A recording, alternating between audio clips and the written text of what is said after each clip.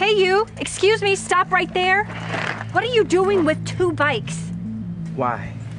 Because it looks like you just stole one. I mean, why else would you have two bikes?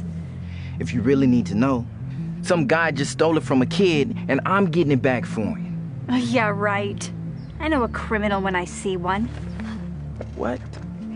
You know, you really shouldn't judge someone without getting to know them first. My son and I just moved into this neighborhood and we don't need criminals like you ruining it. Hello? Yeah, my name is Karen. I'd like to report a suspicious man who has stolen a bike.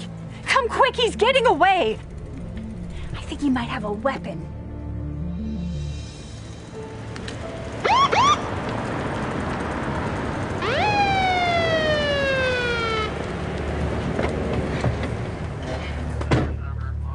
Is the man that stole the bike.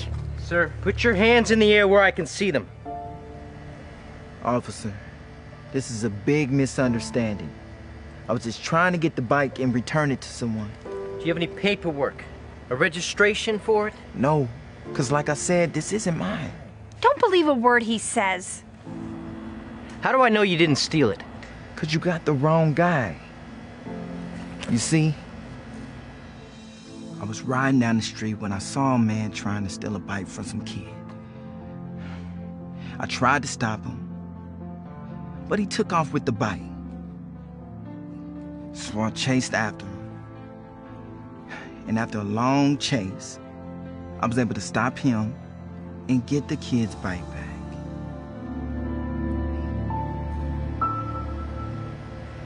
So you see, I didn't steal this bike. I was simply trying to return him to the kid who it belongs to. All lies. You can tell he isn't telling the truth just by looking at him. Look, I am sorry, but if you have no way of proving your story to me, I have to take you in. Officer, come on, man. That's Get off crazy. the bike.